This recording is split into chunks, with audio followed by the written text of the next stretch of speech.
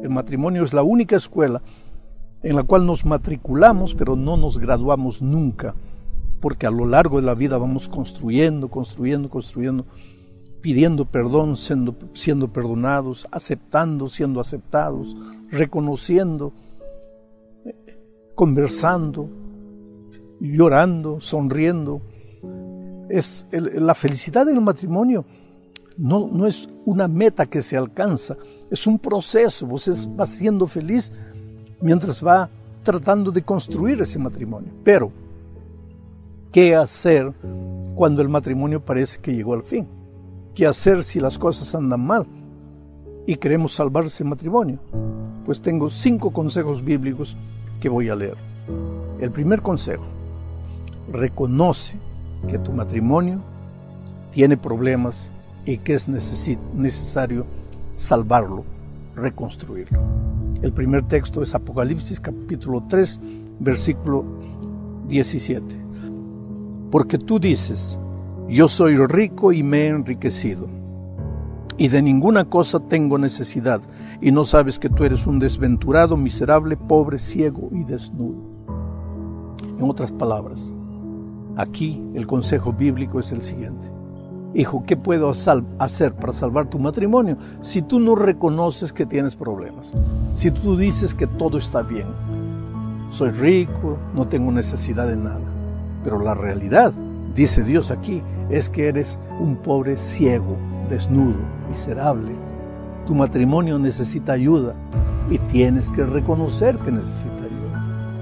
Recuérdate que el primer paso es reconoce que tu matrimonio está en problemas. Segundo paso, ve y arregla tus cuentas con Dios.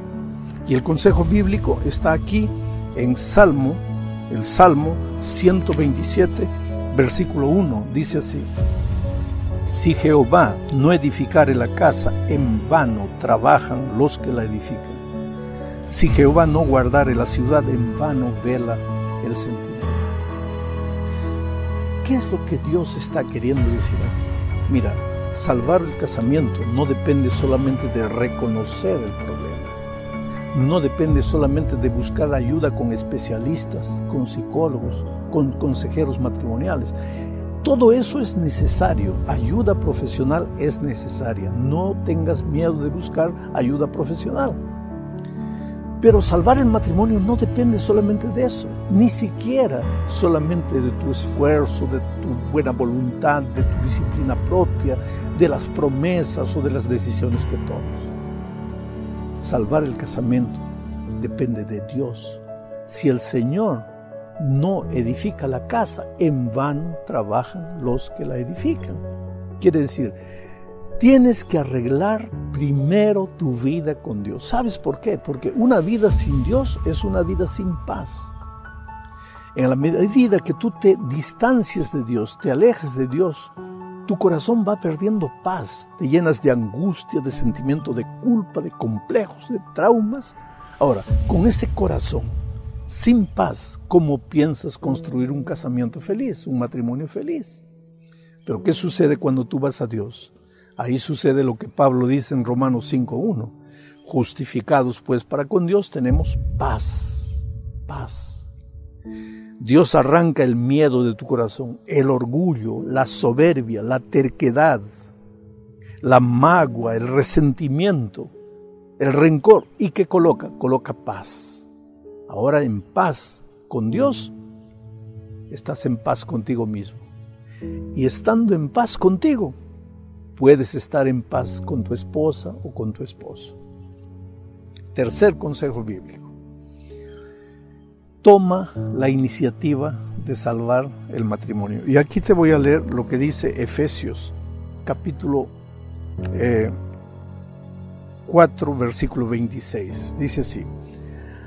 Airaos, pero no pequéis, no se ponga el sol sobre vuestro enojo toma la iniciativa de salvar ese matrimonio.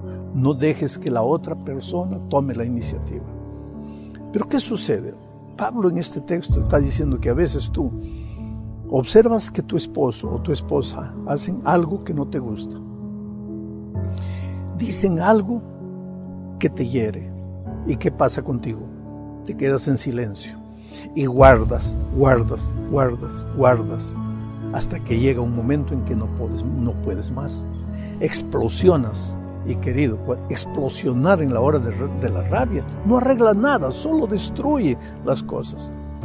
Si tú observas tu propia experiencia, habrás notado que si tú hablaras las cosas cada día, Pablo dice, no se ponga el sol sobre vuestro enojo. Si tú hubieras hablado, tratado de arreglar las cosas cada día, no estarías viviendo el momento dramático, triste que estás viviendo hoy.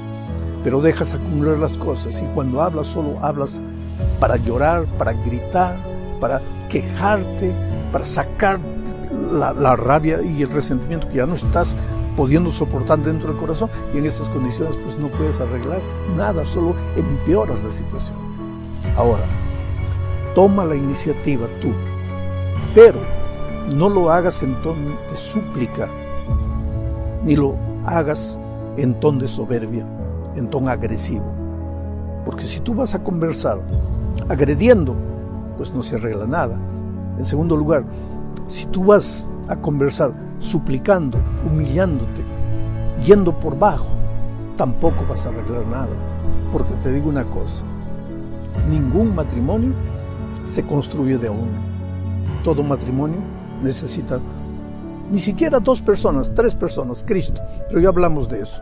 Ahora tú y tu esposo, ambos necesitan dialogar y este es el cuarto consejo que te doy. Conversa con tu cónyuge. El consejo bíblico está aquí en Amós capítulo 3 versículo 3. Dice así. ¿Andarán dos juntos si no estuvieren de acuerdo? Tienen que conversar, tienen que colocar en la mesa cuál es la raíz del problema. Tienen que llegar a descubrir, solo que ese, ese descubrir, esa conversación no es en un momento de rabia, cuando las cosas están en calma, busca a tu cónyuge. Dile con todo cariño, tenemos que reevaluar nuestro matrimonio, analizar, algo no está andando bien. Entonces, el problema es personalidad, el problema son las actitudes, el problema son los hijos, el problema es financiero. Y traten de corregir los problemas que aparecen en las diferentes áreas de la vida. Ningún matrimonio se resuelve solamente con la participación de una persona, con el esfuerzo, con la buena voluntad de una persona. Ambos tienen que querer. Por eso, tú toma la iniciativa, pero después coloquen en la mesa y conversen.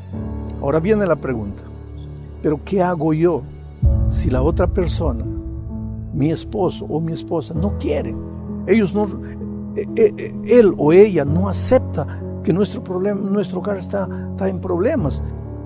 Pero ¿qué hacer si tu cónyuge te dice que ya no te ama, que el amor se acabó, que él quiere el divorcio o ella dejó de amarte?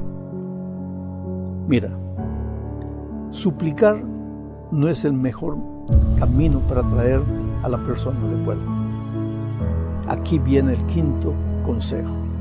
Mira lo que Pablo dice en primera a los Corintios, capítulo 13, a partir del versículo 4.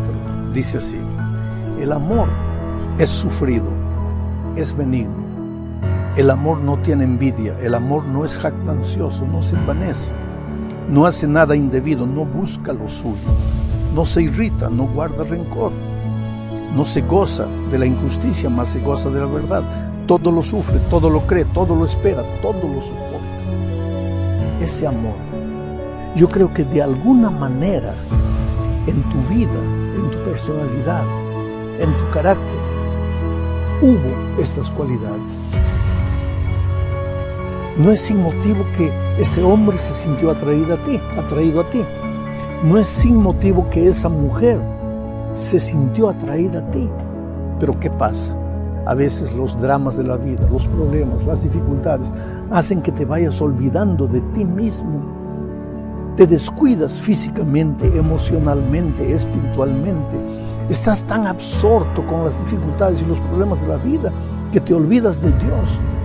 Entonces te vas deformando, te vas olvidando de ti mismo y esas cualidades que un día atrajeron a la otra persona se van desvaneciendo y también naturalmente el sentimiento que ambos llamaban amor va desapareciendo.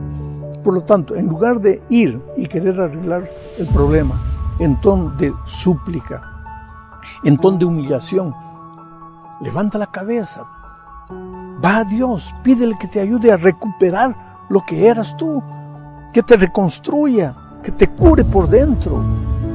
Comienza en silencio a ser la persona que eras. Entonces la otra persona va a mirar para ti y va a sentirse atraída de nuevo. Pero ¿qué pasa? Tú lloras, tú gritas, tú eh, haces, eh, protagonizas episodios a veces de nerviosismo. Te sientes abajo, en la tierra, te arrodillas, te suplicas, te quejas. Así no se salva ningún matrimonio. Coloca tu vida en las manos de Dios. Suplica de Él el milagro y después espera con fe. En el nombre de Jesús. Que Dios te bendiga.